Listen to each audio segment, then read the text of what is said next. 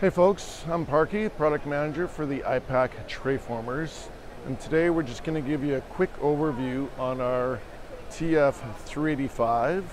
This TF385 is a fully automatic tray former.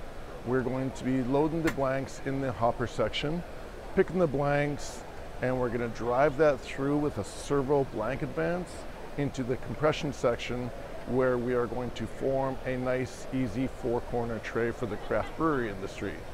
So the people out there that are hand forming uh, their trays, this will do it automatically saving the saving you guys on corrugate and improving your efficiency for your output.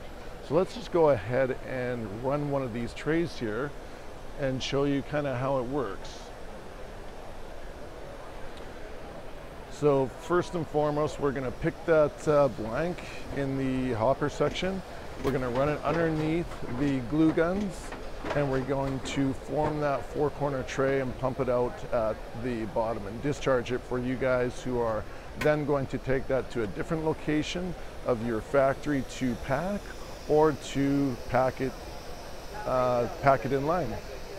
So that's a TF385. Now we have multiple uh, models and that can do a variety of different trays, everything from retail ready display to your craft brewery four corners here to triangular corner posts for the stacking strength for the um, for the display market.